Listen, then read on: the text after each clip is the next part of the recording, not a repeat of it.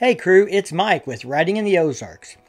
And a couple months ago, I did a video on my first impressions of the Sportster S, and I said I was going to do a full ride review. Well, it's been a few months, and I was going back and thinking about that video and what I really thought about the Sportster S, and I've changed my mind.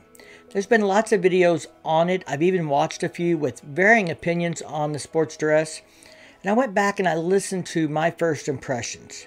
I want to go back over some of those and some of my concerns and what I thought was adequate, but I think I've got a solution how we can make it better.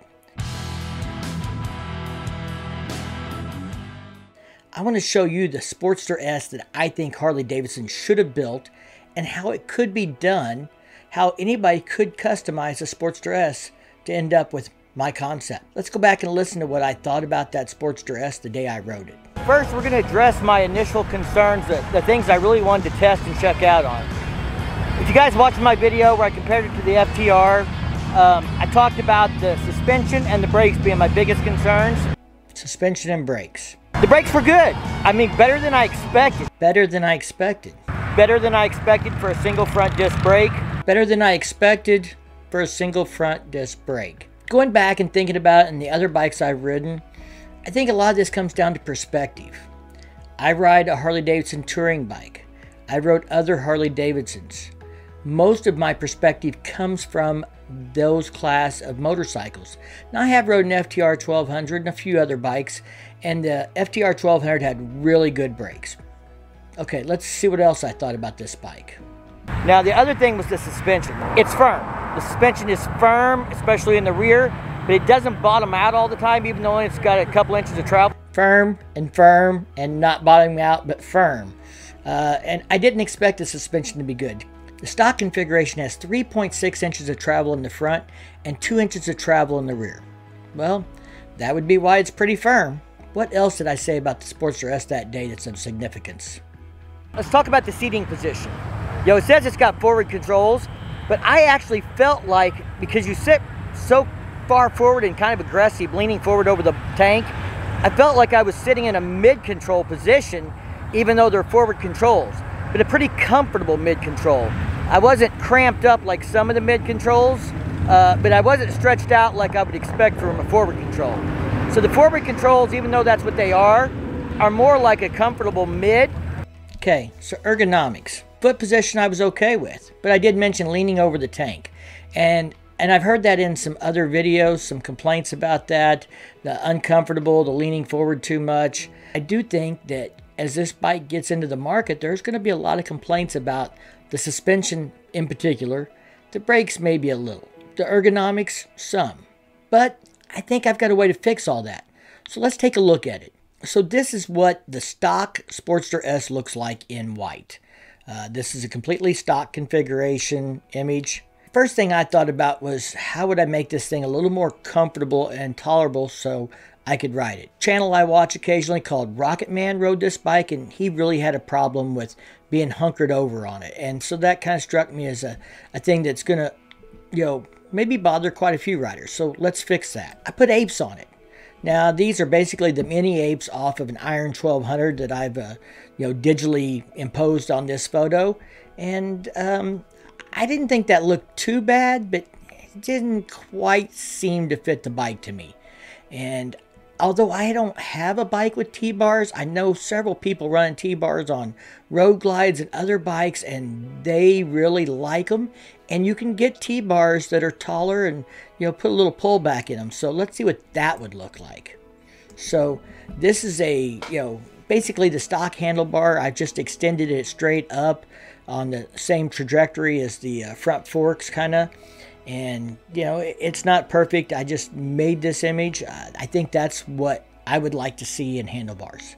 If you if you sit in a chair and you lean forward and you put your hands down on the desktop and then you raise your hands up with keeping your back at the same angle just three inches and then tilt back a couple inches well you know, that's not that much. That's four or five inches of change, and it makes a significant difference in your posture sitting in a chair. And I think that would help this bike a lot.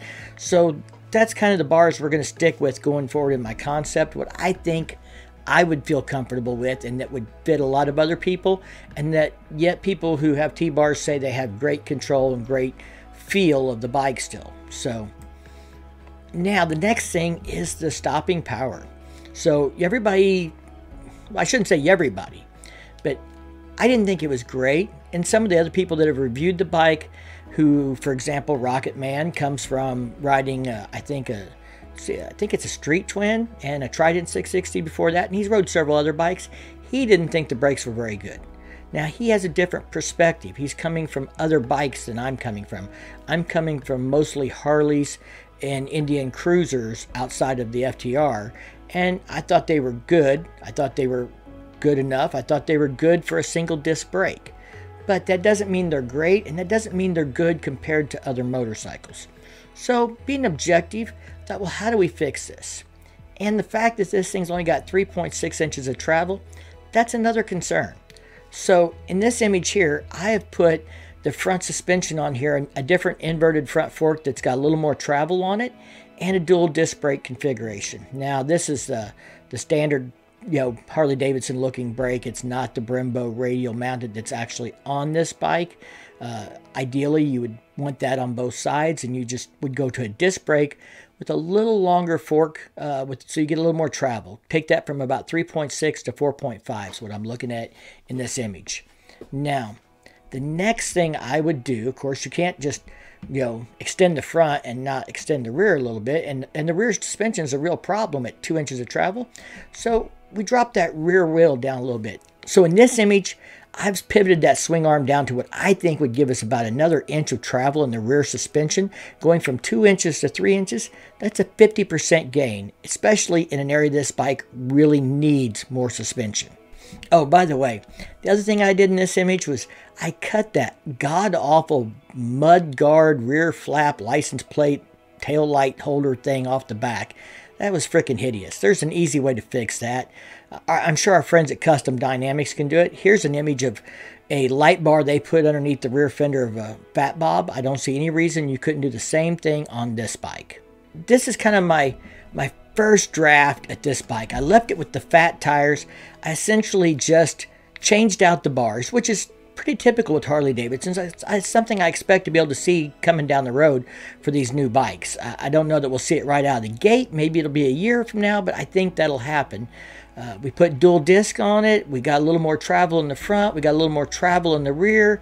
That's also going to lift the bike up about an inch, but maybe an inch and a half. But this bike only had 3.6 inches of ground clearance, so four and a half inches isn't going to kill us seat height on this bike is 29.6 unladen. So an inch inch and a half is still going to put us at that 31 inches or less. I think that's going to be fine for most people. I don't think that hurts us. Having more ground clearance is probably actually going to give us more lean angle even for this bike. So this is what i would like to call my fat tire concept. That's that's the white bike here. We're going to call that the fat tire concept. Now I decided I wanted to try and do something even a little more radical with this. So let's take a look at this. So here we have the stock Sportster S in black. We're going to start with this. We're going to do a little changing. Now, so I looked into it and the front shocks on the Sportster S are 43 millimeter. I did a little searching to see what other Harley Davidsons have 43 millimeter inverted front forks and the Roadster that they did away with a few years ago has those.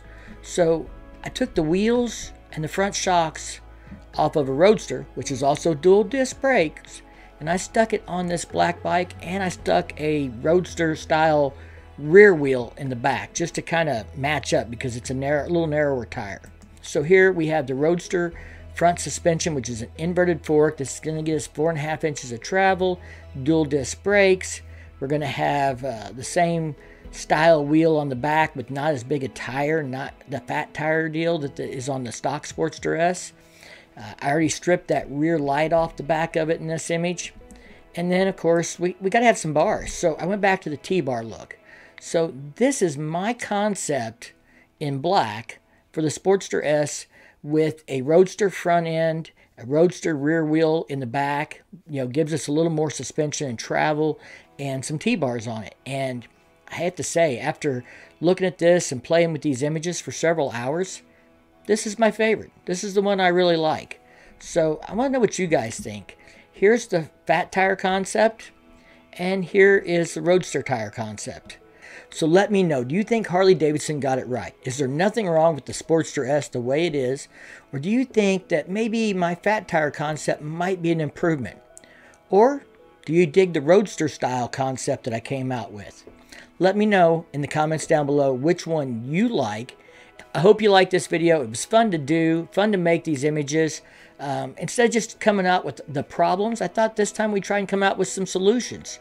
I appreciate you guys taking the time to watch this video. If you like my concepts and you like this video, make sure you give it a big thumbs up because that really helps with the algorithm on YouTube so that other people see this video. You can even share it out on social media. If this video gets out enough, maybe somebody from Harley Davidson would actually see these concepts and maybe they'd make some improvements to the Sportster S based on the feedback and your comments below. Or maybe I'm just all wet and it's just fine the way it is. You guys let me know what you think. Don't forget to check out the content on my channel. And if you dig it, hit that subscribe button down below. It's free after all. And, uh, you know, I just want to say thank you for your support. A big shout out to the members on my channel. I hope you guys are enjoying early access to the videos. And you all stay safe and keep on riding.